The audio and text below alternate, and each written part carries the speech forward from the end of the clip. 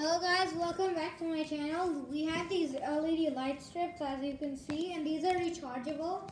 It means you can recharge them. There's USB port right there to charge these. And these are motion sensors. So if you walk past it, they'll turn on and after 25 seconds, if they don't see any motion, they'll turn off. So right now we're doing a test. As you can see, they both work. Let's go install it. Putting it underneath here, you can use a tissue to make sure it's all clean. So the LEDs can stick on, as you can see.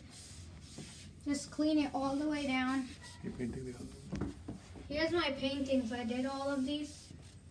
If you like them, press like. Here we are, all cleaned up. Just do a second pass to make sure it's all clean and nothing's left.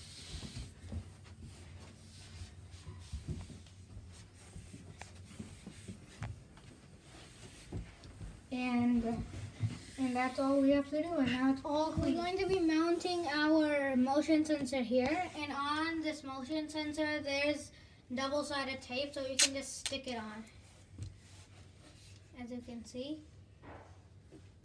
So we just peel the red things off and now you, you can stick it on right there. Now you can stick it on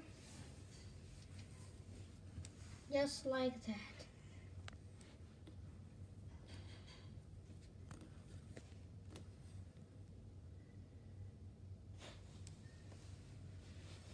And it's sticked. So here's our lights and there is double-sided tape on it. So we're going to start pushing it in and it will stick on automatically. So we just do that the whole way, just like this. You can see. So guys, here's our light strip so far. As you can see, it looks very cool. It looks like we went into the theaters. So guys, look at our lights. They look awesome, don't they? Yeah, they are cool. So we have to make a turn here. And look at how much light this makes. I don't know, maybe about a thousand lumens, which is a lot of light. I made a YouTube short about this, so you can go watch that on my channel too.